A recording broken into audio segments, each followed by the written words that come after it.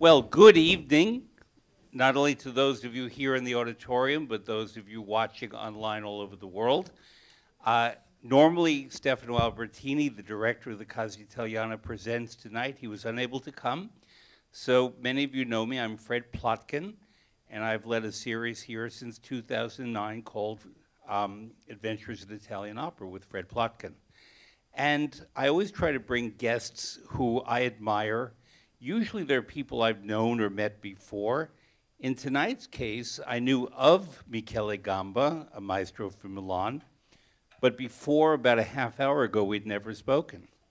So I have a lot to catch up with. He has had a big success. He's what we call in English a young man in a hurry. And we're going to talk about his career, his career development. We're going to play some of the music that he has played. If he feels so moved, we put the piano out there tonight because one never knows. And so if you would, please welcome Michele Gamba. Great, thank you. And if you want to put the microphone here. Sure. Well, thank you. So, we're going to start by looking at a video, and then we're going to ask Maestro. Can I, I'm going to call you Michele. Please. So, Julian, please play number eight.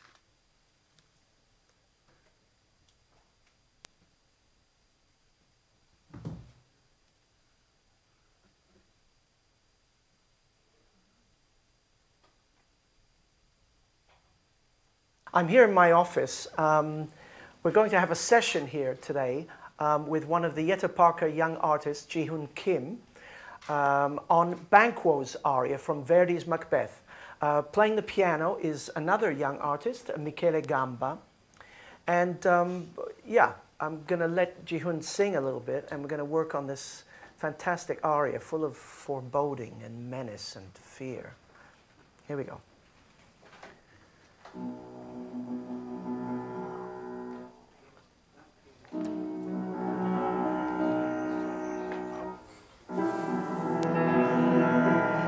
Silences.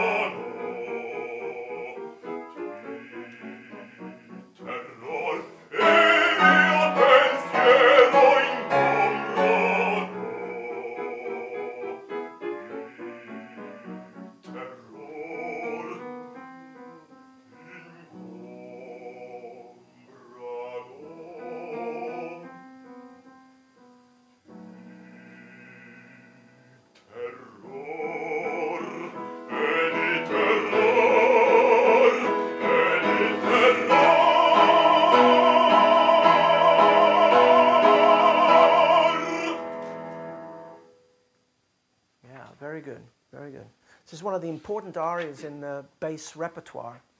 And um, Jihoon has just the type of color in his voice to make this aria really, really good.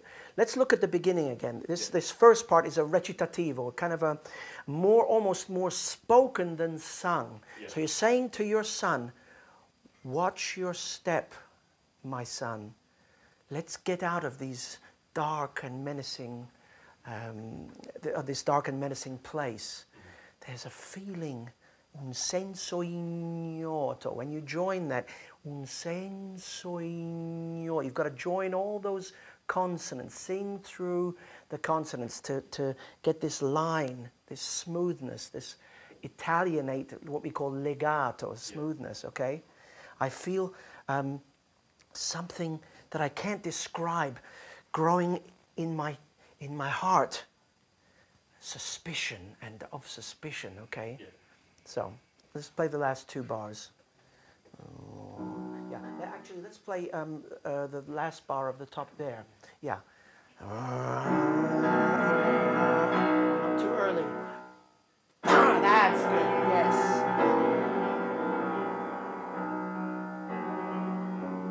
Doesn't need to be too loud, okay?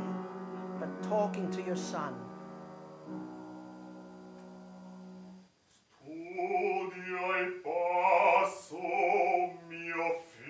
And when you say studia il passo mio figlio, passo, but there's an o in there, passo oh mio figlio. So there's oh my son. There's some kind of suffering in that, you know. Um, so you don't have to repeat the, the, the, the sound. You don't have to passo o, but passo mio. We must sense that o. Okay, right on it. Boom. Now, you've got a little hole between studia, studia il pa. Join the sound. Yeah. Go ahead. Studia il passo mio. Bravo. Now, semiquaver. Usciam da queste tenebre. Now, don't rush here.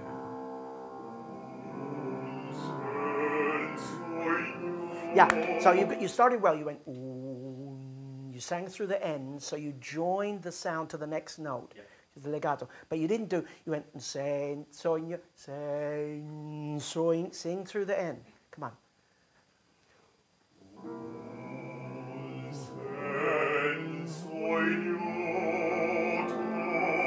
Now you're going to make a crescendo. You're going to get louder gradually, but you've got to dose it out. You don't give it all away at the beginning, okay?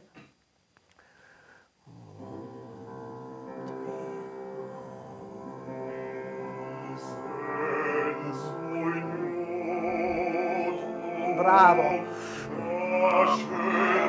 Yeah, got to roll the R. Nascer mi se. Okay? And I didn't like nyo to. There was a hole. Nyo to. Join the sound up. Okay?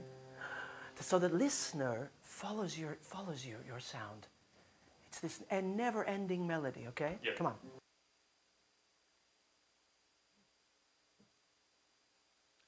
So, such a class can continue for a very long time. And what I want to ask Michele, for starters, is how did you wind up at the Royal Opera House in Covent Garden working with Maestro Pappano? Well, it was, uh, of course, a, a privilege. I was very lucky. I started off, uh, I mean, I'm a pianist, of course, uh, basically, and uh, I needed to uh, earn my living, as you know, many young pianists need to do. And being Italian was rather natural for me to get into opera, and I auditioned for Tony, and that's how I got into the Opera House, which is, you know, a wonderful machine, uh, and uh, pretty similar to what I've seen so far at the Met. You know, it works. It, they know how theater uh, how theater goes, and um, and working with Tony, it, Tony is a, a a man of opera, a man of theater, a man of language, and uh, you know, Italian is clearly. Uh, something that he feels very attached to, not just because of his background.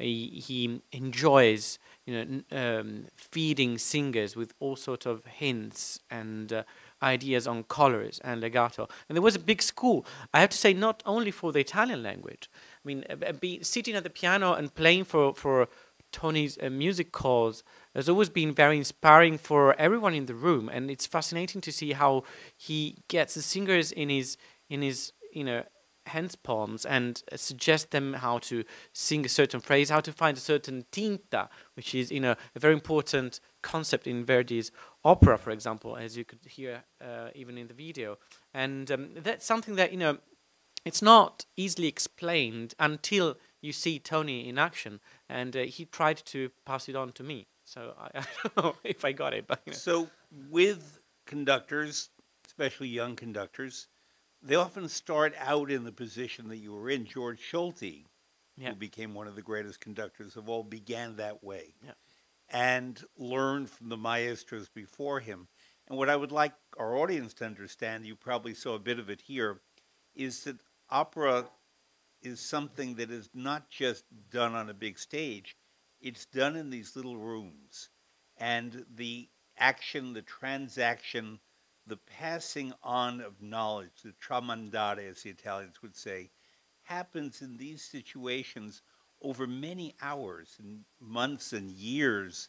And a young artist such as this fellow here would develop the roles that he would sing, Banquo in this case, uh, in his repertory, and then work with conductors on a stage. But before that happens this kind of education. And while someone at the level of a Antonio Pappano only has a certain amount of time to do this, he devotes himself to that because he is a vessel of knowledge and of history and experience that he got from people. He's only in his 50s. And he got this from the people who came before him. And all of us who work in opera bear this in one way or another, and it's incumbent on us, I believe, to pass it on. And part of why I do this series and my other teaching projects is to pass along, often with the help of artists who are in the profession, so that not only do audiences here get this, but we can document it on video and it can be watched after. So, what did you perceive as your role as a young artist, because you were a young artist there, at the piano? I'm sure that Maestro Pappano and other older maestri worked with you about Yes. what to do on the piano and not just the singers what to do with their voice. Of course, I mean, uh, the first thing he was asking for is, I mean, knowing the score. I mean, at the piano you get, you know, the the, the spartito, so called, the, so you know, the reduction for voice and piano. So you don't necessarily know which instrument plays, which uh, which is essential in any opera, in any score.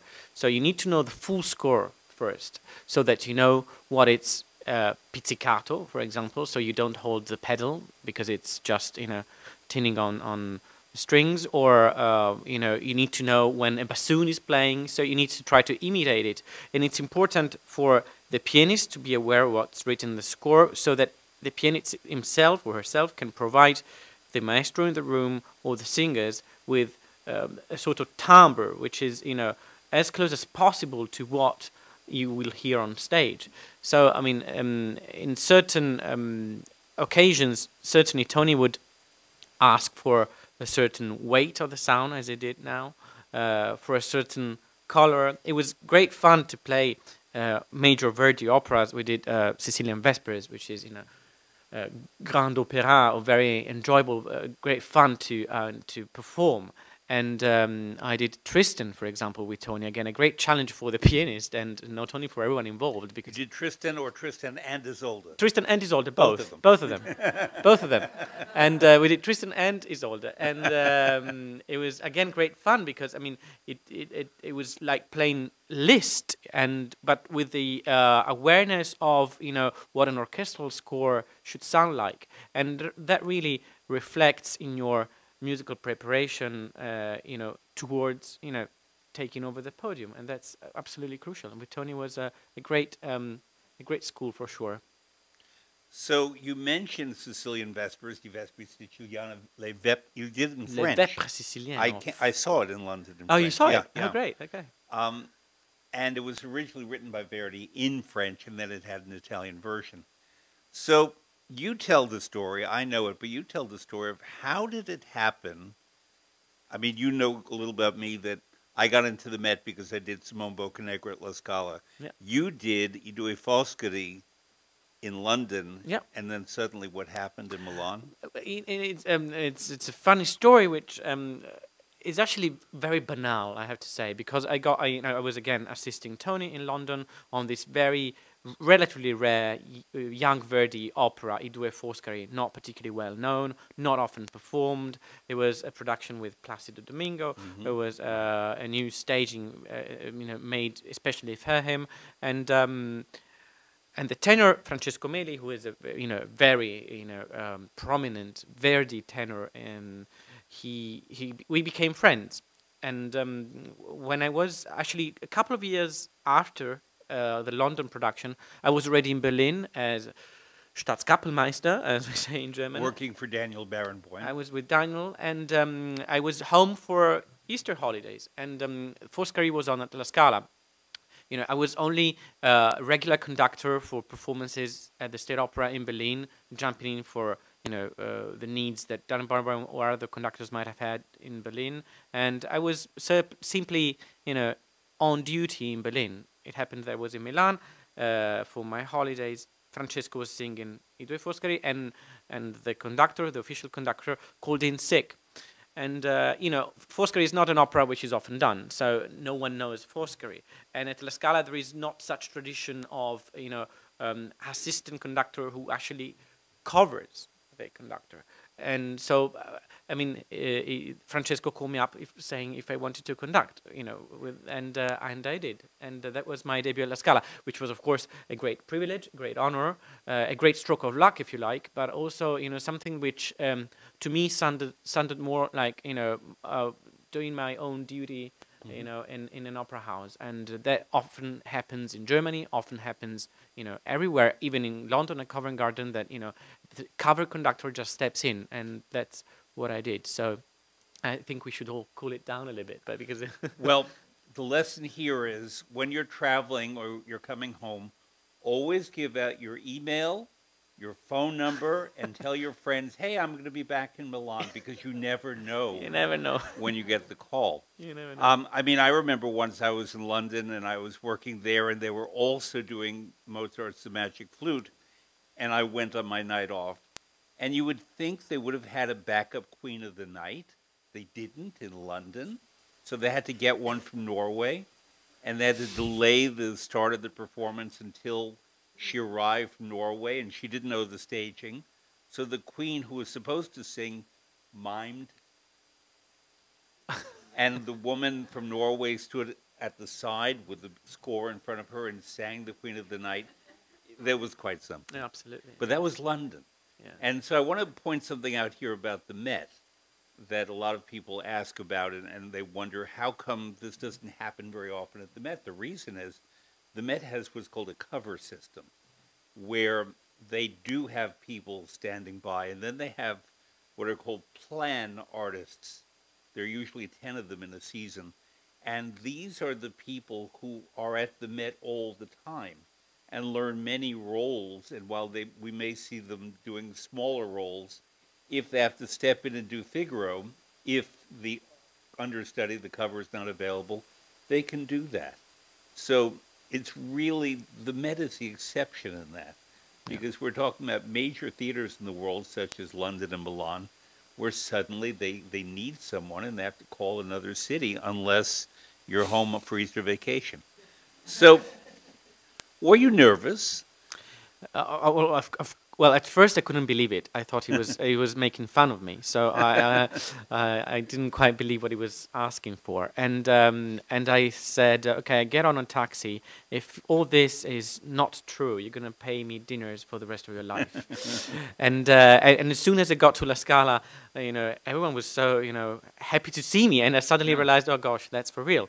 And uh, for for I had you know say 30 seconds to see, oh my god, okay, what I'm gonna do, and then you know, but then no time to think over again, and you just go for it. And uh, of course, you need. I I saw the um, the prompter. Uh, uh, to see what you know because I mean again it's not Traviata which is an, a- an opera which is often done and it's often done this or the other way so there are not many choices also because it's so often performed I due I mean the choices that a conductor could make are actually relevant and um, actually many. So I mean, I didn't know what the uh, the fellow conductor wanted to do with the recitatives and all that. So I, I I've asked specific questions, and then I asked to see the leader of the orchestra, saying, "Well, whatever happens, I'm gonna talk to you." Saying, you know, whatever if I'm beating in four, in two, in three, or whatever.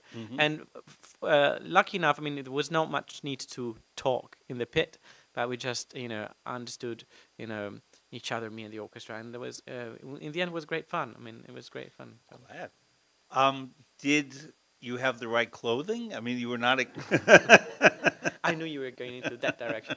no, of course not. And uh, so I, you know, I mean, it's Milan. They take that very seriously. very seriously, Very, very. seriously. And um, you know, I, I, I just uh, you know put on my brother's um, jacket and my brother's shirt, and he's taller than me, so I looked like a panda. And um, so yeah, basically. The Scala decided to pay me a new, a new, you know, a new, a new tax, so so that could be more presentable. Let's so. And did you then do later performances or just that one? It was the last one. okay. It was the last one, and then you know after that they they after that they called me back. All right. Since we're talking about La Scala and costumes and so on, um, you all know that the level of the making of clothing in Italy, but especially Milan, there's just nothing like that on earth. So that I, a number of years ago, had to work in Vienna, and I needed white tie and tails, and I had this. Vienna wanted my measurements so that they could do the the clothing for me, and I went to a tailor in New York, and he measured me, and it was sent to Vienna, and they said, "Well, we don't understand this. This makes no sense." And I knew that I was then working in Milan, so I went to my tailor in Milan, and she measured me and sent it to Vienna, and they wrote back and they said, "We have never seen better, more beautiful details for how to make clothing than the woman who is your tailor in Milan." And so that my white tie and tails in Vienna were just fantastic, not because of me, but because the the knowledge that goes into building clothing, and the verb that we use is building clothing or costumes, in Milan is just second to none. And my tailor was referred to me by the people at La Scala. Well, give me the address. I will absolutely, yeah. Um, and but anyway, the point is that the culture of that city is so particular, and where my tailor is is very close to the ballet studio of the La Scala Ballet, so that they, the tailor, will make some or fix some of the costumes for the ballet as well. Um, actually, I was not planning to go in the direction of ballet right away, but Julian, would you play number nine, and then we'll talk about ballet? Madina. Okay, sure.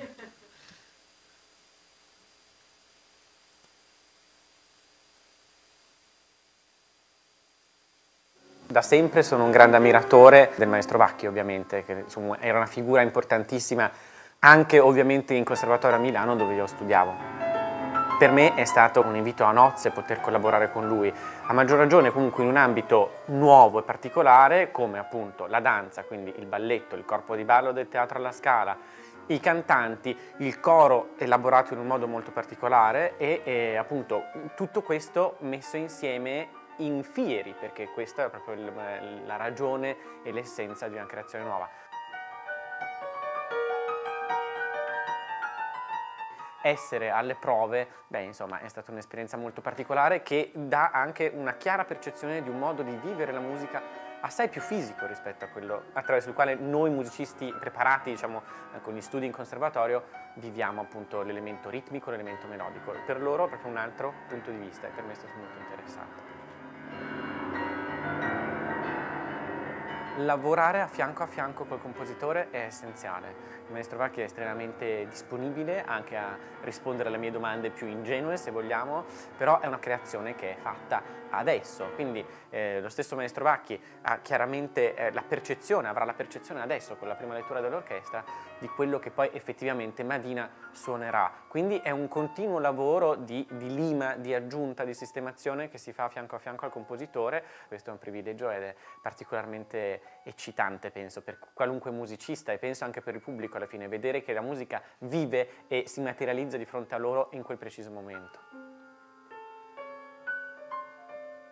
Eh, è un momento per me molto particolare perché appunto mi posso occupare dell'ambito contemporaneo con Madina e poi naturalmente la grande tradizione che qua alla Scala è perennemente vivificata dalle, dalle masse, dal coro, dall'orchestra dai solisti eccetera e si tratta ovviamente poi di Rigoletto che vedremo eh, nella prossima stagione con la regia di Mario Martone, quindi sono, mi sento molto lusingato e ovviamente avverto molto la responsabilità di essere impegnato su due fronti per me così importanti e complementari e comunque così significativi per un grande teatro come il Teatro alla Scala.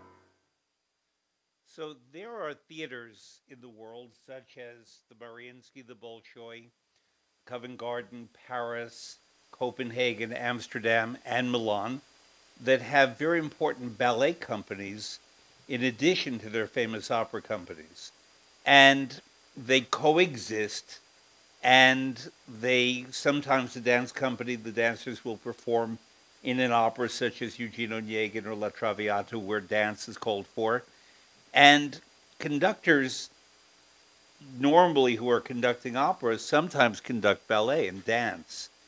And needless to say, you did very well with I Due Foscari because you were invited back for various things, including the world premiere of this ballet called yeah. Madina. Had you conducted dance before? Never. It must be bizarre for an it's, opera conductor. It's very different. Because when are they going to sing? They don't open their mouths. Yeah, and, yeah. You know. No, it's very different. Again, I mean, yeah. it's a completely different word. I mean, I, I'm not, I'm not accustomed to it yet. I mean, uh, I've done that, and I've done um, Verdi Ballabili on another occasion, always at La Scala, and um, it's it's a completely different situation. It's a very interesting. It's very interesting because they read music in a different way. I mean, the the the, the moves and um, the way they count is also different. So at first it was very tough for me to get into their uh, language mm -hmm. and their syntax, and um, finally we made it, but it, it, was it was a tough process for me. And um, you know, certain tempi. I mean, it was interesting for me uh, from the musical point of view because I mean, for example, in certain transitions, to give you an example, from say an accelerando or a rallentando, had to be uh, that organic. I mean, organic so that actually the dancers could actually you know put in all the uh, the uh, pas de deux, whatever it was, you know, that I had to put in, and um, it's a way that make you think uh, of music in a different way. And actually, I think it adds um, a sort of or, sort of um, a more balanced element in the way you conduct certain ebb and flows of, of, of the music. So it was a, a good, uh, a very good and fruitful experience for me also to you know apply to other, applying that to other things. And uh, it was tough anyway. But I can only imagine that if you are used to conducting with a singer and hearing her hold a note and monitor her breath. And tonight she has a lot of breath, or tonight maybe she doesn't have much breath. And you have to work with her and the orchestra so it doesn't sound like you're cutting her off, but it also she sings long enough that you can keep the orchestra going. Yeah. It's very different from a dancer very. moving. Very. Where there's there's not the signal to you as a conductor of the sound of what's happening on the stage Absolutely. Do you look at the stage differently as a dance conductor than you do as an opera conductor? You, you are you have. Uh, I mean, I had point of references, so I knew that you know at that point of the stage you had to be there at that very moment, and so I could pace the the score in a way so that I knew that he would feel comfortable, or I knew that in a certain point that would have been very difficult for him or for her to deliver a certain gesture or whatever, and I had to wait. So I mean, it's something that uh, we worked out with the choreographer, and um, but I had to rehearse it a lot. Can imagine. Do the orchestra musicians play differently for dance than they do for opera? Uh, not in that case, because the orchestra was very curious. The orchestra of La Scala is a very old, you know, uh, orchestra with a lot of tradition, of course, and uh, but they're very curious. Maybe also because they are so full of such, you know, enormous cultural heritage. They're also very curious about new music, and they they know uh, Fabio Vacchi's music very well because it's been uh, performed often at La Scala, and they're always very hungry to learn new music. That was good. Needless to say, Nabucco was new music in 1842. Yeah. So they have a long tradition of this.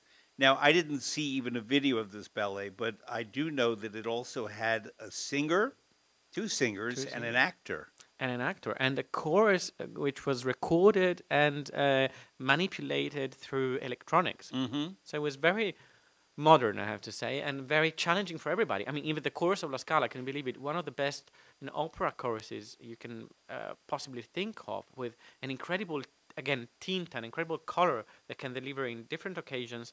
They were actually you know, challenged by music which is not tonal, of course, which has you know tricky rhythms, and but they delivered that incredibly well. And uh, the recording sessions were actually were going rather easily. I mean, were I mean, I have to say, not particularly difficult for them to absorb that language and get it through. It was great. Um, you studied at the Milan Conservatory, Yes. but you are from Milan. We were speaking before, and when I lived in Milan, apparently we lived a few blocks away from one another. Um, but were you in La Scala in any way as a boy, or did you really go elsewhere and then wind up at La Scala? Uh, I was elsewhere. I mean, I, the first experience at La Scala for me was uh, Maurizio Pollini, so not certainly opera, and um, uh, Maurizio Pollini playing Appassionata. I remember very well. I mean, I- again, being a pianist myself as a kid, my parents gave me as a present the ticket for uh, Pollini playing uh, Appassionata. And then I was actually at the conservatoire where there was, uh, there is still a very good uh, chamber music series. So La Scala came, La Scala for opera came uh, later in in my uh, school years, and uh, I got into opera actually rather late in my life, if you want, because I got into opera when I was 23. So not necessarily, you know, with you know, mom's milk, so to speak. So it's not that your first opera you saw when you were 23. No, of course No, not. But right. opera is a job. Okay, opera is a job. Did anything among your early opera going experiences stick in your memory that you thought I'd like to do that, or were you really interested more in piano? No, no, La Bohème. I always wanted to do. The first uh, opera show I saw was uh, La Bohème in Torre del Lago Ah, okay. because my uh, father comes from that area and so mom is from Puglia, so I'm a sort of Milanese to a certain point. Yeah. not hundred percent. But um, and dad is from Tuscany and Torre del Lago, of course, where Puccini lived and so on. And we they took me when I was seven to see Bohème, and I was so fascinated by by you know all the atmosphere that you get there, and you know Bohème, of course, is such a Zanzare. Zanzare, of course. So this is on Lago di Massaciuccoli, which is not Massachusetts, and it took me years to learn to say that. Lago di Massaciuccoli. And Puccini's villa was there that he basically built with the money from La Boheme, and he wrote most of his operas there. Only at the very end for Turandot did he move to Viareggio. He's buried at this villa. He, he was a hunter, and his hunting lodge is there. And there's sort of a an inn on the lake near the villa, and he would go out and shoot a pheasant and then bring it to the inn and say, cook it. Or he would catch a fish in the lake and say, cook it. When you have an op- outdoor opera theater right next to a lake in Tuscany in the summer, we read the tourist brochures about Tuscany. It sounds perfect. The mosquitoes, the amount of mosquitoes, the first time I had to work there, I was besieged with mosquitoes. There was just nothing to be done about that. And my, frankly, memory of working in that theater was just being attacked all the time. And I never went back to work there because. so, but they didn't bite you as a seven year old? No, I was a kid. Maybe my, my blood was not that interesting to mosquitoes. But you know, it was actually, I mean, I was so fascinated by, you know, I was taken so much by the story of Bohème. Yeah. And I said, you know, I want to I wanna do that. And um, and of course I started in you know uh, going to La Scala um, as, as as an audience member, and w- during the Muti years, of course, Mm-hmm. were, which were very intense, especially on the Verdi repertoire, and um, I remember, you know, Macbeth, of course, Traviata, uh, a number of, of, you know, Verdi operas which were actually crucial for for La Scala under Muti, and and then of course, you know, the more I got into it, and uh, then I, I I was captivated by you know the legendary production that I saw on uh, VHS of Simon Boccanegra with Claudio Abbado, and you know then you know once you get you know drain into drawn into Claudio Abbado's word, you never Yeah. gonna go back, you know. And uh, that was the thing, you know, the Simon Boccanegra, you know very well, and uh, there was a legendary uh, production that everywhere it's a landmark thing, you know. And uh, so I decided that I wanted to conduct that music. hmm Um, Milan is much more than La Scala, although La Scala is fantastic. But there are other theaters and other musical organizations all over the city. yeah. And I think that Americans and people from elsewhere who go to Milan automatically think to go to La Scala, and that makes sense. But the churches, the theaters, Teatro del Verme, Teatro Nazionale, they're just everywhere. The Milan Conservatory, it is a deeply, deeply musical city. And when you were growing up, did you benefit from that, from the environment of all the music there? A lot. I was Yeah. never home. I was always I was always you know uh, either at the Great Hall del Conservatoire or uh, you know at La Scala of course at dal Verme. And you know the the number of occasions uh, now there is the the auditorium for l'Orchestra Sinfonica La Verdi. I mean there are actually uh, I'm I'm pleased you say that because you know um, we always think of Vienna as a city of music whereas Milan is an important cultural center and especially over the past uh, uh, I would say 10 years or, or even more. I mean, um, it's growing more and more, and there is a lot of you know buzz and there is nice vibes in in and you know and the Milan cultural scene is very lively and alive and offers a lot and contemporary music. I mean even of the sort of avant-garde you you might uh, you know even get to hate but they offer that. I mean and i think it's important for a- for a, a, a, a contemporary city to offer all, you know, the whole palette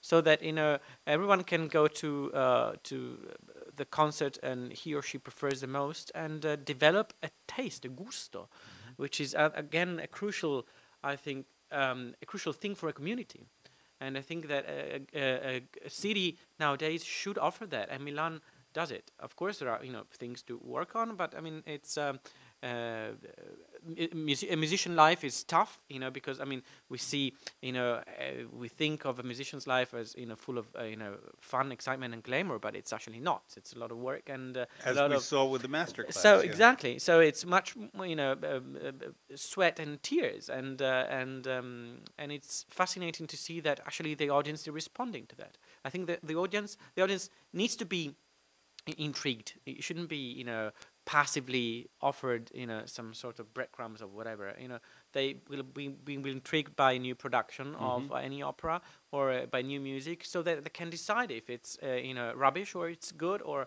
and we need that. I mean, opera music is alive, and nowadays, even after the pandemic, we all thought, oh, it's all you know, it's all gone now. No, thank goodness. I mean, people are coming back to the theater, and uh, the theater is a good um, mirror of um, the sort of life that in the city you can find. So speaking of Milan and Vienna, and speaking of breadcrumbs, Yes. Wiener Schnitzel. Schnitzel or Cotoletta alla Milanese? How can you possibly which, ask that? Which is it? Of course, la, Which came first? la Milanese, of course. It, it's, a, it's a subject of great debate because, as we know, Austria occupied Lombardy and Milan for much of the 19th century. And my Viennese friends often say that we gave them Cotoletta alla Milanese. The Milanese say, no, we were doing that when the Austrians were living in caves. And, and but the main difference actually is is that in Vienna it's often done with pork and not just with veal. Veal, yeah. And in Milan often they have bone the bone in. Not always, but sometimes. So I'll, I'll call it a truce between those two. Okay. But since you said Milan, Vienna, and breadcrumbs, It that's just where- came to your mind. That's where my of mind course, went. Of course. So, another institution in Milan that maybe you can talk about. I've never asked a guest on the stage about that before. Is the Piccolo Teatro Oh, and its role in the city's cultural life. Oh well, you know the even better than me. I mean, Il Piccolo Teatro it's crucial to every Milanese. I mean, uh, luckily enough, I mean, I, I'm I'm a great admirer and of the uh, uh, public school system in Italy. I have to say, and um, when I was at school, they would always take us to uh, theater performances of legendary Arlecchino by uh, again Giorgio Strehler, and a number of Goldoni. So I was going to say Carlo Goldoni wrote Arlecchino Servitore di Due Padroni, which you may have seen in an English language version, um, One Man, Two Guvnors with James Corden on Broadway or in London. And that was an adaptation of that. And talk more about Arlecchino, and then I'll tell you a bit about Arlecchino. Go ahead. no, you you gotta No, you go first. Okay, well, I, well, the only thing I can say is that uh, again, the Piccolo Teatro, of course, with Strehler and uh, and his heritage now is becoming more and more of something that we uh, hold very dearly uh, in our cultural life. It's um, again, uh, was a great um, man of theater. You can tell more about that, of course, and uh, but also a great man of opera. And um, again, I think um, whoever has been working with Strehler, and you can sense that even at La Scala, uh, is talking about a, a, a very complete experience where music and theater, uh, talking about you know the Strehler influence into opera, music and theater were never actually juxtaposed but going together. And um, Arlecchino is a, a wonderful, um, how would I say, sum of uh, he was summing up you know his experience with Mozart da Ponte and in straight theater and you see as you know this art form are actually so complementary. And that's why th- i think the piccolo teatro is so relevant because it goes so tight together with la scala and the musical scene in milan. And that's so so relevant. And um, nowadays uh, i mean it's always i think refreshing to go um, to the piccolo teatro because you can breathe that heritage and uh, which is so um, precious for all of us i think.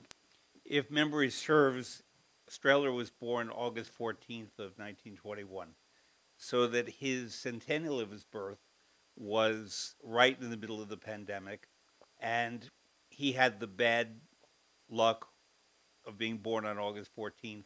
Everyone in Italy is on vacation on August 14th, so that even though he was a legendary great figure of the arts in Italy, with the pandemic and being the middle of August, his birthday really went unnoticed, except that La Scala published a wonderful publication that I recommend to you.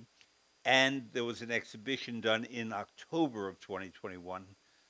But um, he was a brilliant man, a somewhat difficult man. The older he got, the more impatient that he got. I think because he was very eager to accomplish a lot.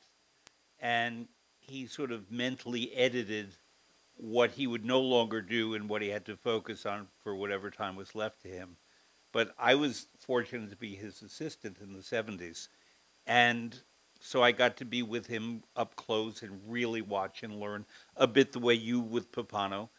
And um, the thing that he always taught actors and singers, and they're different in some ways, is listening and the degree to which listening is the key to success in performances. And my Italian, I speak fluent Italian, but with an American accent, obviously. Not so obviously, but I do. And one day he said to me, Okay, Federico, we're doing this scene today from uh, Arlecchino Servitore di Due Padroni, and you've been at rehearsals for two months. You play Arlecchino. And I said, Well, I'm not an actor. I'm here. He said, You play Arlecchino. I want to test that you have been listening. Now, part of the character of Arlecchino is he has to, he has to be clever and spontaneous and react to the two masters that he has because basically he has two jobs and the needs and interests of both of the masters are different and he has to juggle all that. And I was nervous and speaking in Italian, and one of the other actors improvised and said to me, Il tuo accentino, your little accent, where is it from? And I had to pause and think because it had to rhyme. And I said, Cisalpino. And Cisalpino means from beyond the Alps. And the audience burst into applause because what they looked for was the spontaneity, the, the engagement, and the audience really listened because the actors really listened. So in opera, when he directed, he taught the musicians to listen. And his secret to stage direction was about listening. Obviously, you move here, you move there, this is scenery, this is lighting, you hold hands, you do this and that. It was about listening. And Abbado would watch Strehler and take cues from Strehler about teaching the orchestra musicians to listen to what was happening on the stage. So that my formation really, as an opera worker early on, was about listening. It was about all the other practicalities, but fundamental to that. And I had worked in Chicago before, and it was wonderful. I worked with Bruno Bartoletti and other Italians, but it was this that opened all kinds. I worked with Zeffirelli before, but this was the key that opened everything. And so I mentioned this because the Piccolo Teatro, when you go and see a play there, and it could be uh, The Tempest by Shakespeare, it could be The Cherry Orchard by Chekhov, it could be anything from world theater. It doesn't have to be an Italian play. He did a lot of Bertolt Brecht, for example, he loved. All the actors who are trained in the piccolo have a degree of listening skills that I've never seen anywhere else. Have you encountered this as part of the Milanese musical and theatrical culture? Yes, I mean, I have a question for you then. Yeah. I mean, would you agree that actually uh, then, you know, the musical gesture, I mean, the theatrical gesture comes from the musical gesture and vice versa. So, I mean, that the music and the theatrical regia comes out of from what actually the music suggests itself. So they go along very tight together. So certain gesture of the singer should actually reflect what the music suggests. I'm not avoiding your question, but I'm going to give an example that I think may represent it. I don't know if we had here in, in uh, November Speranza Scapucci, the conductor who was conducting Rigoletto. And the performance that I went to starred Lisette Oropesa as Gilda. And Lisette Oropesa, I don't know if you've ever seen her or worked with her, more than any singer I know now on the stage, her gestures and acting reflects what the orchestra is saying musically. And I have not had the occasion to sit with her this way. I know her, but not in this context. Um, to ask her whether that's part of her preparation or whether how this happens. But I think that the music can suggest, for example, in Rigoletto, you can hear his heartbeat at certain points in the music and the acceleration of his heartbeat as he becomes more anxious about the situation in the court, about Gilda, about the Duke. I hear Rigoletto's heart throughout the score. In La Traviata, I hear her heart in different ways at different times, and I hear the ebbing of her energy at a certain point. And so I think that Verdi in this case put those things in there. Whether singers or conductors or stage directors take that and use it is up to them. And I think sometimes I've seen singers, in effect, act out the music of the orchestra, and that doesn't work. Sure. Yeah, yeah, of course. What what I think I, I, I enjoy very much sitting in the room during the stage rehearsals with uh, a stage director, and I have to say when you see uh, a great stage director um, uh, telling the singer what to do, uh, how to actually elaborate certain characters which end up being cliches. I mean, if you think of Gilda, you were, you were uh, you know, thinking of Rigoletto. Gilda is always seen as as stupid, sort of, you know, una cretina, you say in Italian, you know, and uh, you know, just um, as uh, someone who is after uh, the Duke and uh, naive or pure. But actually, the duet with her father is very confrontational. It's very it's very strong. I mean, he says to his fa- he says to her father, he "Say, well, leave me alone. I want to get a life, and you know, don't, you know, In Act Two. E- Exactly. Yeah. Don't don't just you know lock me at home. I got I got a life to live, and I'm I'm a young you know teenager still, and uh, I think that you know that it's sometimes underestimated, and and uh, you know seeing uh, a a stage director digging into it and bringing it to life, it just emanates from the music. I can sense it that it influenced the music, not necessarily with the direct correspondence of gesture with the music. It doesn't necessarily go and you need to do that gesture over that note. But you know, uh, the the the atmosphere. Uh, I think that you know go along. Uh, with the music and with what actually the text suggests, and it's I think essential for a conductor to be present at those rehearsals because then the musical uh, requests or the musical you know directions that you give as a conductor make sense to a singer because otherwise eh, they're contradictory i mean in a way Julian, would you play number 10 and then right after that, number 11?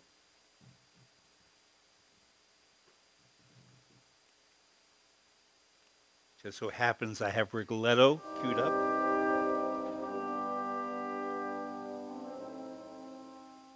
La tinta orchestrale di Rigoletto è scura, agisce per sottrazione. Dopo il preludio breve abbiamo per esempio una lunghissima scena dove l'orchestra tace. Il numero successivo, il numero 3, il famoso duetto Rigoletto-Sparafucile, è tutto giocato con un ensemble di pochissimi elementi, con un suono scuro, un suono ehm, molto sinistro se vogliamo, che crea inquietudine. Rigoletto quindi è un'opera che agisce anche sulla, sulla emozionalità per via di sottrazione, quindi sottrazione di tensione e eh, pause improvvise. In questo senso è un esempio emblematico di- del Verdi che eh, insomma, inizia a maturare un gusto personalissimo proprio per il colore che lo renderà appunto unico. L'approccio al testo eh, deve basarsi ovviamente sul segno scritto, che è oggettivo ed è verbo per eh, noi musicisti. È ovvio che eh, bisogna tener conto di quello che è la stratificazione del segno, cioè il segno è una stratificazione di significati, quindi non abbiamo solamente l'oggettività di un'indicazione del compositore, ma abbiamo anche una contestualizzazione di quello che è appunto la prospettiva storica, diacronica, quindi non si può non tener conto di un contesto che dia ragione della prospettiva della, della scrittura verdiana in senso diacronico, ovviamente di quella che era anche una prassi esecutiva nell'Ottocento, sulla quale Verdi ovviamente ebbe molto da dire, ma che appunto costituisce eh, qualcosa di connaturato comunque allo spirito verdiano, proprio perché Verdi, più di tanti altri compositori, era un uomo fortemente eh, legato al suo tempo.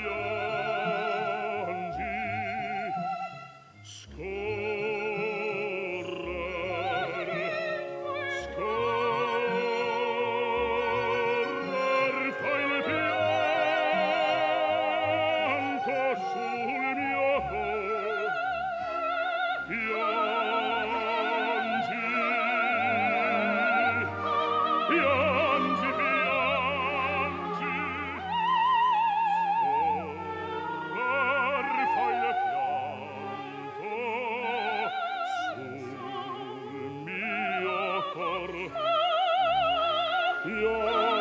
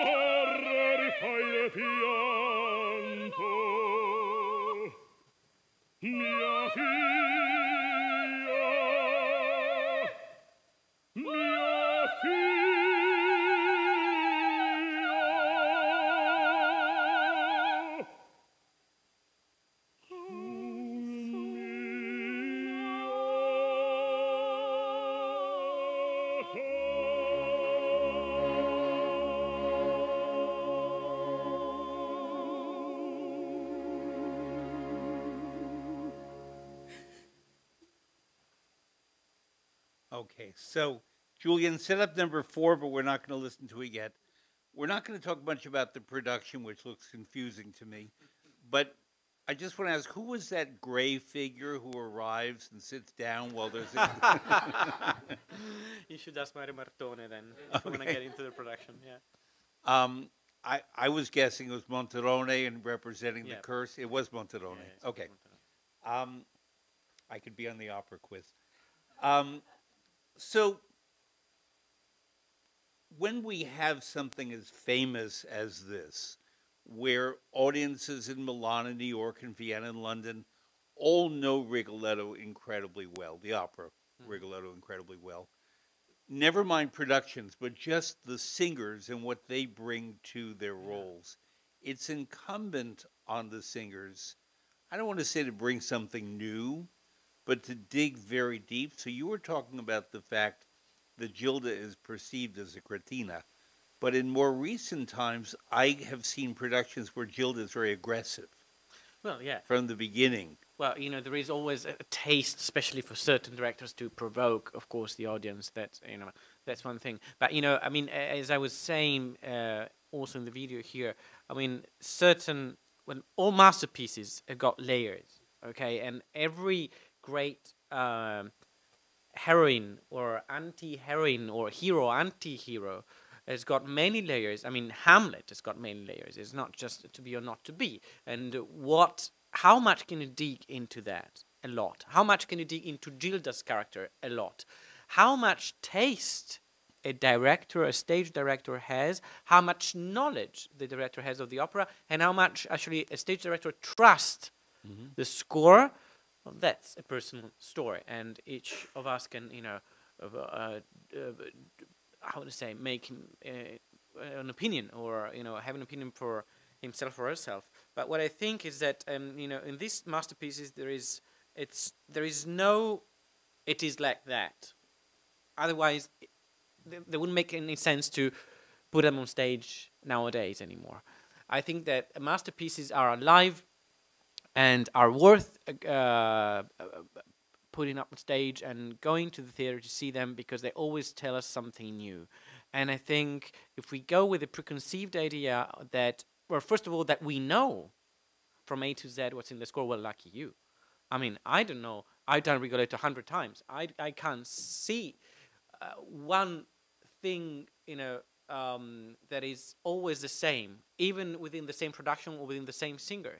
And you get inputs. I mean, that's the that's I think the magic of live performance, and you can see, um, you know, even little, uh, you know. Uh, flips of fingers or whatever that suggest something different and that's why i think it's worth going to the theater because i mean the, the opera and but anyway any cultural event is not uh, somehow a diamond that stays there on its own. It's uh, in something alive, and um, and every little shadow you can find in a char- in a character, the many layers you can find into the music writing again, you know, um, are there and tells us something. I mean, it's um, otherwise it wouldn't make any sense to to go to the theater and conduct or sing or stage any of these anymore, uh, because you have go and get a good recording.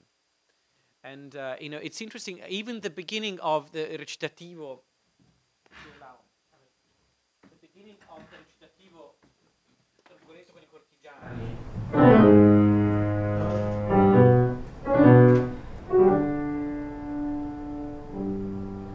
do you? There are hundreds of questions that a conductor has to pose himself, and at least give an answer which is plausible. And you've got to work a lot with the stage director, side by side with the stage director and the singer, to understand what Verdi says as con ridicola gravità. So he wanted traditional.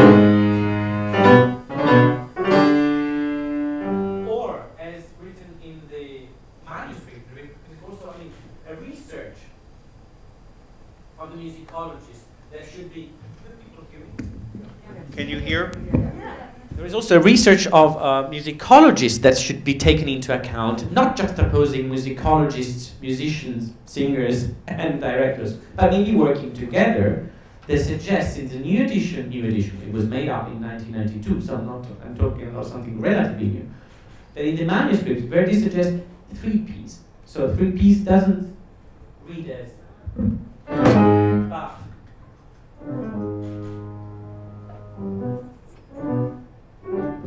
it's a hell of a different thing. It's a hell of a different story. It's a completely different mood.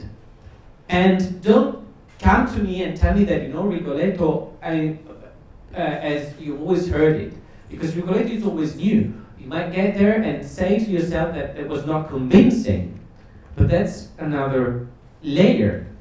And also, how do you read the dots? You say il punto all'italiana, so stretto, which, if you like, adds a certain comical uh, and yet evilish uh, um, nuance to it, or you decide, and there is no right or wrong, true or you know or false.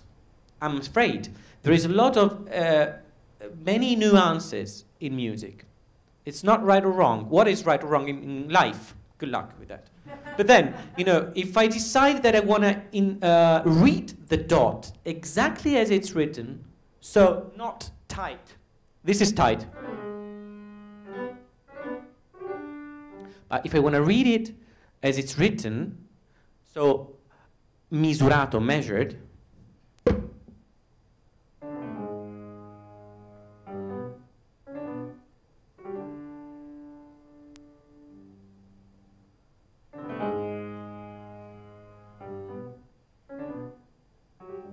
it adds a completely different gravitas to the thing. It's much darker.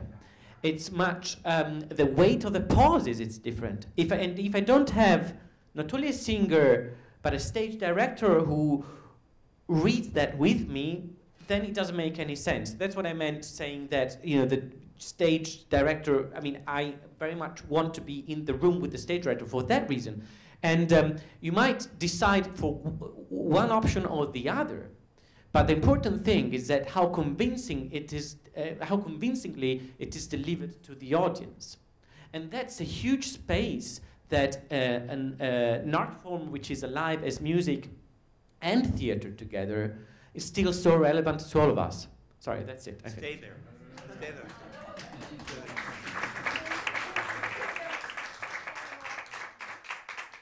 I was hoping that Michele would notice the piano there. Um, Too tempting. because you are now conducting Donizetti's Elisir d'Amore at the Met, what I'd like to ask you to do is we all know the aria Una Furtiva Lagrima.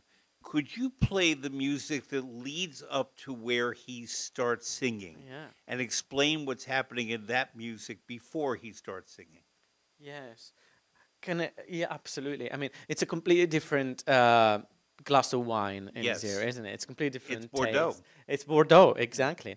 And uh, um, I mean, I'm very attached to Elisir, and Una Furtiva Lagrima again is something which is so Italian, not because it's Elisir, but because it's full of nuances. And Una Furtiva Lagrima, what is he?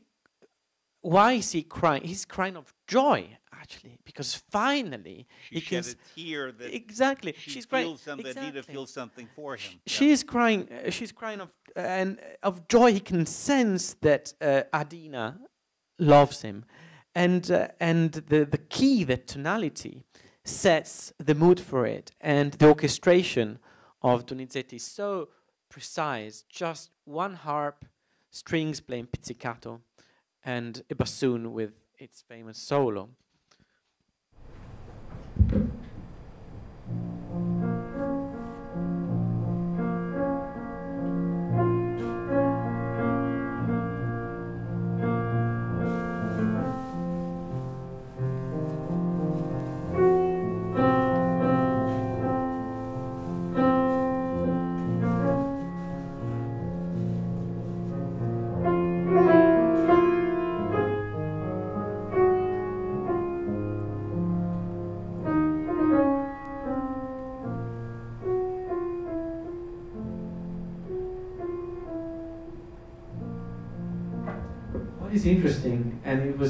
To hear it, to uh, get it here at the Met, is that first of all, it's not just sadness, it's somehow something sublime in a way. È una furtiva lagrima. It's, it's, it's something which is so specific, so nuanced. Again, it's not black and white, it's something which is a, a whole palette in it. And um, how do you play, for example, again, uh, music is made of, we can talk forever about, you know, Rigoletto's recitative or Una Furtiva Lagrima, the mood, whatever. It might actually, you know, um, how would I say, it might trigger even, you know, memories for each of us, like Proust, you know, like La Madeleine, you know, whatever. I mean, it might be, oh God, I remember talking to a lady who came to me saying, oh, I loved your uh, uh, the way you conducted Rigoletto, but I hated the production, for example, because for me, Gilda is what I saw uh, with my father when I was a kid in 1961, and it was a pure, okay, well, you know, that's also a reaction that, you know, I, I, I, I, can get. Or, you know, someone can actually have memories related to Una Furtiva Lagrima because Mario Lanza sang it. But here, the, again, it was impressive to hear the, f- solo bassoon of the Met. The uh, bassoon um, music is written slurred, so. And then the third note leads into the next one. In words, it's not, it's not this.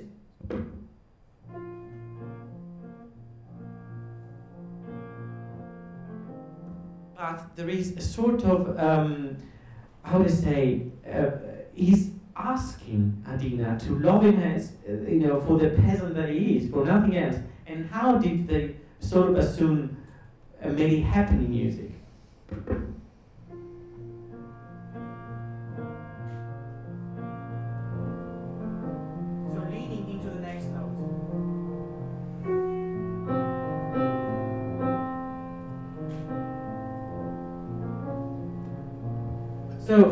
Magic about music? I find, and, and with musicians of such orchestras, like the Met, like La Scala, that you don't need to talk. You need to either suggest, and then you see what comes out from the colleague. And especially in certain cases with such high level, you don't even need to suggest. You just let him play, and it's incredible how much uh, you know psychological history of each of us you can get from from the colleagues. It's a very you know it's uh, uh, when when I when I travel, people say what what do you do in life? And I say I, I'm a musician. Yes, but for real. I said well I'm a musician. and uh, why music is relevant to us exactly for this reason because it tells us wh- what we are. It speaks about us as well as straight theater, as, as, as well as you know any sort of um, uh,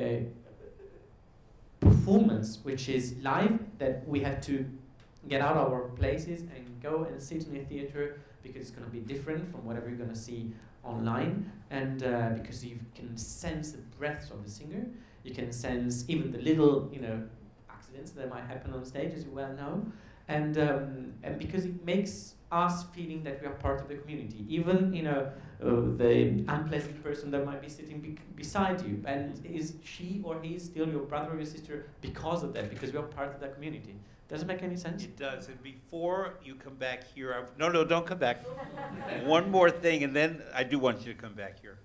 Um, I know you began as a pianist, your, your career and your work. The music of Elisir that you just played, would you play it again the way Beethoven would have played it? okay You know where I'm going? Okay. Yes. you're mean yeah yeah yeah yeah well you know uh, Be- I Beethoven heard something the way you played. I'd never heard in that music the hundreds of times I've heard it before. That I heard Beethoven.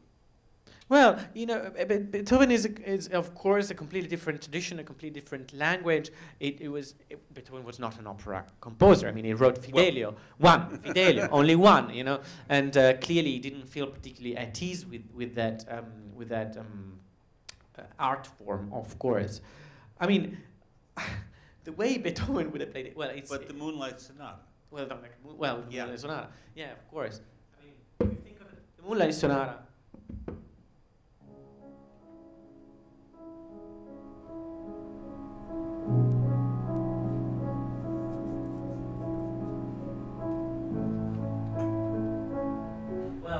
A, it's a completely different mood, of course, and it's completely different aesthetics. And yet, the way um, I think geography has made uh, the difference, it's um, rather interesting because of, of the color. I mean, how would on earth Beethoven would have even thought of putting a harp and a bassoon and uh, uh, strings pizzicati? But I think that the most relevant difference uh, in terms of style or languages is, um, I mean, in Italian we have a, a different sense of legato. Uh, we have a different um, that comes from the language. We say la luna, you know, or mondschein.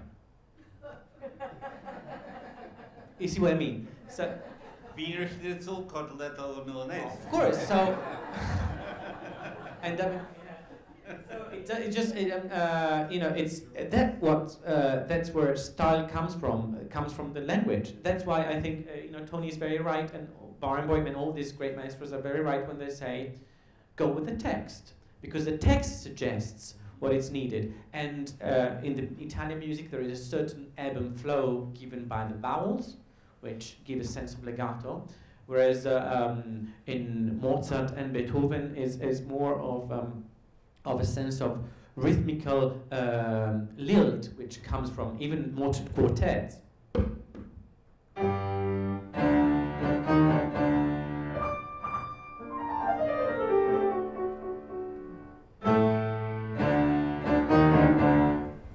it's, this is Mozart and it's already clearly Beethoven and uh, um, it's it's a completely different um, uh, how do you say use of uh, the native language that uh, is transparent and i- i- it's clearly conveyed into the music and um, and that's why I, I like very much you know uh, getting into the German repertoire. I lived in Germany for, for for quite a while and I enjoy the German repertoire for that because the approach to language is something which is different from the approach to our language and I'm going to that's ask you to come back here now. By the way, thank you for this no sorry I piano just- play.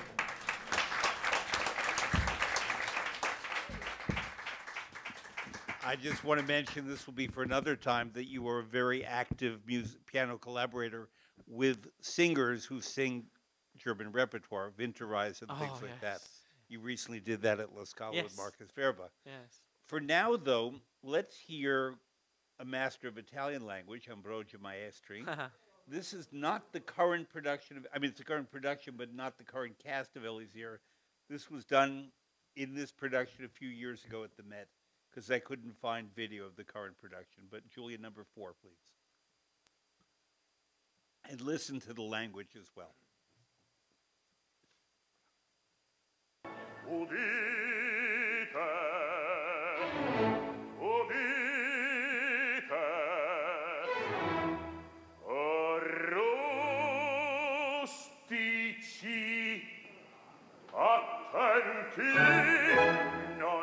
mia. Io già suppongo e immagino che al par di me sappiate io sono quel gran medico dottore enciclopedico chiamato Dulcamar tu preclara e portenti infiniti son noti all'universo e, e, e in altri siti.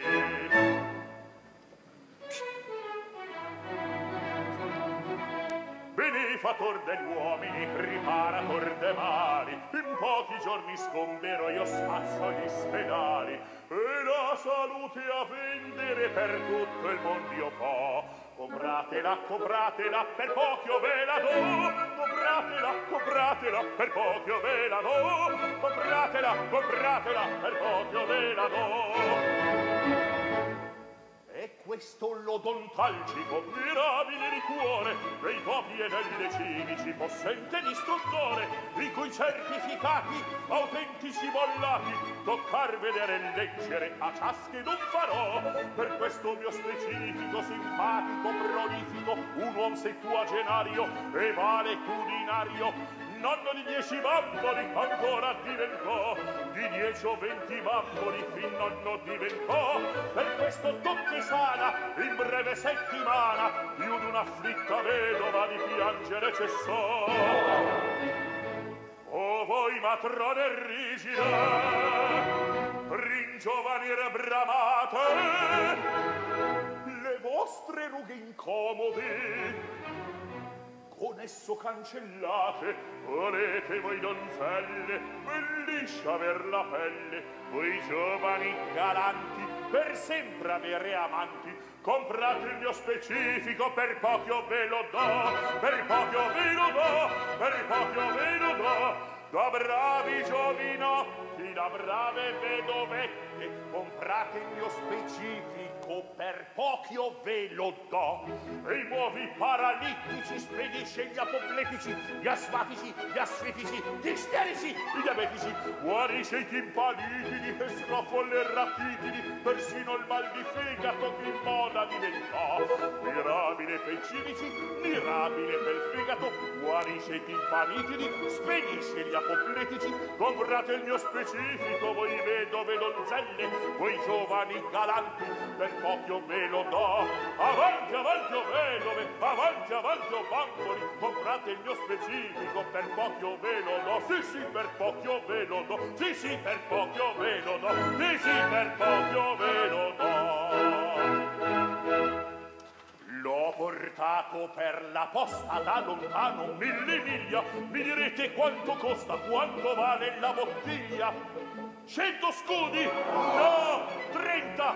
No! 20! Nessuno si sgomenti per provarvi il mio contento di se amico accoglimento io vi voglio buona gente uno scudo regalare uno scudo veramente più buono non si può dare non si può dare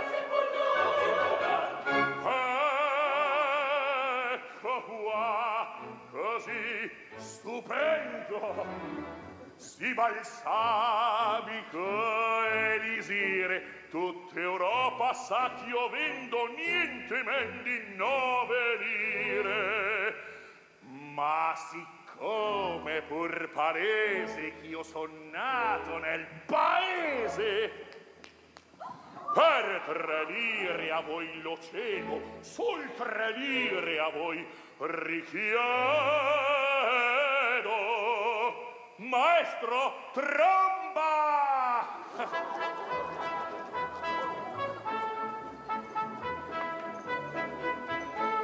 così chiaro è come il sole che a ciascuno che lo vuole uno scudo bello e netto mi s'accoccia fa entrare uno scudo bello e poi s'accoccia, s'accoccia, faccia entrare, in s'accoccia, faccia entrare.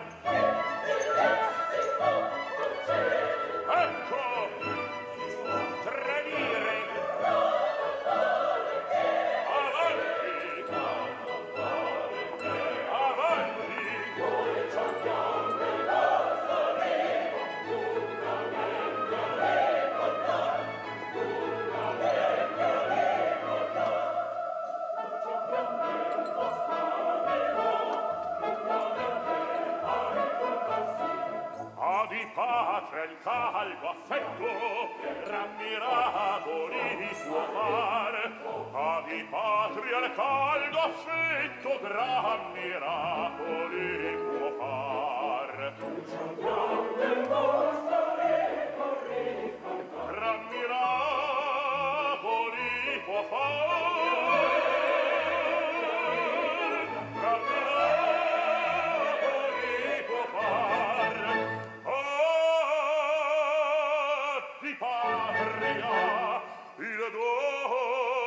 dolce affetto tra miracoli può fare oh, di patria il dolce affetto tra miracoli può far sì sì può far sì sì può far sì sì può far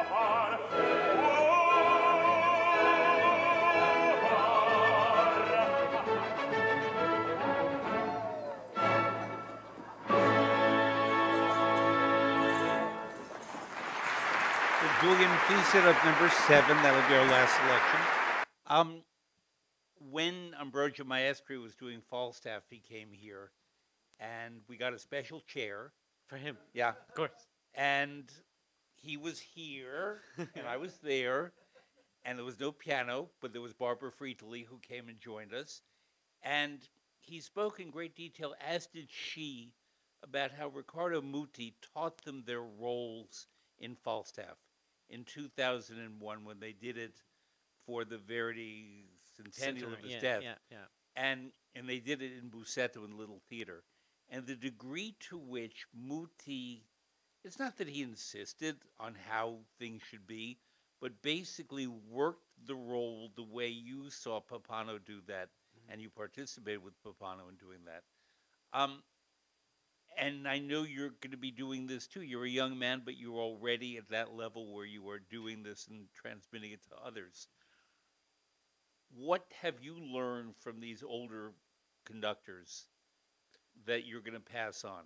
Well, the the hopefully the attention to details and uh, the text, the subtext, and um, you know just every musical choice is uh, corroborated by reasons. I mean, uh, uh, a number of reasons. I mean, music is an art form, but it's not. Um, uh, it's subjective, but it also has its own law, and uh, we need to, uh, you know, take care of the laws of music. I mean, certain liberties are given within a frame of harmony, rhythm, text, subtext, uh, breath needs, and you know the volume of the voice. I mean, uh, Ambrogio's voice is always very fresh, but of course uh, this was some years ago. I think the premiere. Yeah. So I mean, we've been in 2012, yeah. Yeah. So I mean, it's a completely different. Um, now it's a completely different instrument. So you need to listen to the voice and uh, you know make it fit within what the music tells, which stays objective. And then it can add. I mean, it's uh, it's uh, interesting and it can sound like a paradox, but you know, the stricter you are to what the music needs, the freer you can be on stage. And Ambrogio is one of the best example of that. Um, I know that many of you have already attended Elisir d'Amore. If you have not, you have, I believe, one more chance. Two more. Two more chances now, but then you are coming back here in April, April. with a different cast. Six more. Yes. Six more in, in April. Yeah. So therefore, if you have not yet seen it, I've seen it already in this run, and I'm coming again in April because I want to see the other cast. I want to hear Michele again. Yeah, I think you can tell why I want to hear Michele again.